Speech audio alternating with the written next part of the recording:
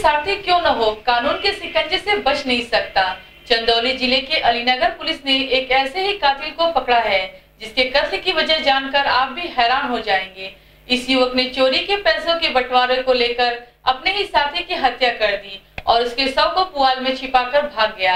मामला का खुलासा तब हुआ जब मृतक का मोबाइल बरामद हुआ। पुलिस की गिरफ्त में खड़ा यह युवक कोई मामूली चोर नहीं, बल्कि बाइक चोर गिरोह का सातिर सदस्य है, जो अपने साथी के साथ मिलकर बाइक चुराने का काम करता था और उसे बेचने के बाद पैसों का आपस में बंटवारा कर लेता था। पुलिस के हत्थे चढ़ने के बाद इसने बताया कि इसका साथी अक्सर बंटवारे में के पैसे में बड़ा हिस्सा लेता था, जिसको लेकर दोनों में कहासुनी होती थी और यही कहासुनी उसकी साथी की मौत का वजह बनी। इस बार युवक ने बेचे गए चोरी के बाइक के पैसे से पहले अपने दोस्त को शराब पिलाया और जब वह नशे में हो गया तो उसके सर पर एक बड़ा पत्थर दे मारा, जिससे उसकी मौत हो गई। अपने साथी की मौत के बाद उसने शव को पुआल के बड़े से ढेर में छिपाकर वहाँ से वह भाग निकला और उसकी मोबाइल को बेच दिया।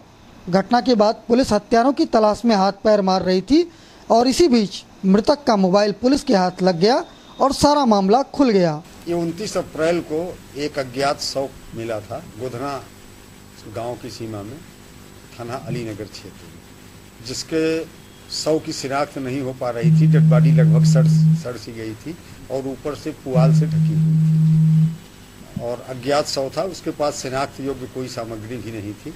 काफ़ी प्रयास किया गया। प्रयास करने से ये जानकारी मिली कि एक व्यक्ति मिसिंग है अदलहट थाना क्षेत्र में। उसके परिवार वालों को बुलवा करके कपड़ों की शिनाख्त कराई गई तो पता चला कि ये कपड़े गोविंद उर्फ़ अविनाश चौहान के हैं। ये अंतिम बार अपने गाँव के ही एक साथी पंकज चौहान के साथ निकला।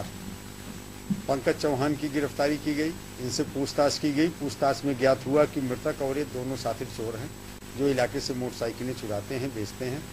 और इन लोगों ने अपने गाँव के बगल से एक मोटरसाइकिल चुराई थी। उसको बबरी थाना क्षेत्र में ला करके सत्रह हज़ार रुपये में बेचा था। साढ़े सात हज़ार रुपये नगद मिल गए थे। रुपये मिलने के बाद इनके मन में पाप आ गया। इनका कहना ये है कि कई बार उसने जो मोटरसाइकिलें याद इन लोगों ने बेची थी, उसके हिस्सेदारी में धोखा दिया था।